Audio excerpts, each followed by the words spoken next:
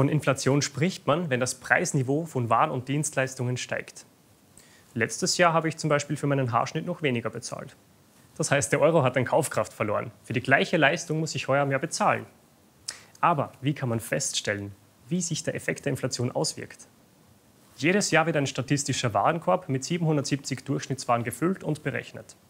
So lässt sich die jährliche Preissteigerung und damit die Inflationsrate errechnen.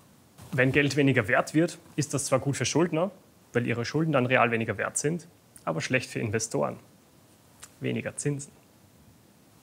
Deswegen unterscheidet man auch zwischen nominalen Zinsen und realen Zinsen.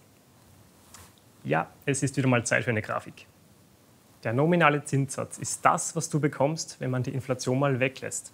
Sagen wir, du investierst 100 Euro für ein Jahr mit einem Zinssatz von 2%. So beträgt die Höhe deiner Auszahlung am Jahresende 102 Euro. Kommt es in diesem Jahr jedoch zu einer Inflation von beispielsweise 1,5% so musst du diesen Wert von deiner Endsumme abziehen, um den realen Zinssatz zu berechnen. Nominal hast du am Ende des Jahres zwar die 102 Euro, durch die Inflation ist deine reale Kaufkraft aber nur um 50 Cent auf 100 Euro und 50 Cent gestiegen. Wahrscheinlich denkst du jetzt, wie kann ich mich vor der Inflation schützen? Aktien, eine Eigentumswohnung, all das kann als Realwert bezeichnet werden. Und Aktienfonds. Mhm. Aktiengesellschaften können nämlich auf Inflation reagieren weil die Unternehmen den Preis ihrer Waren und Dienstleistungen an die Inflation anpassen können. Anleger aufgepasst.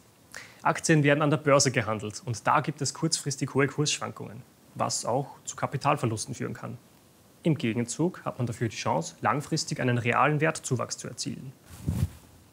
Jetzt weißt du Bescheid über das Schreckgespenst der Inflation und weißt auch, wie man sich davor schützen kann. Kennst du was?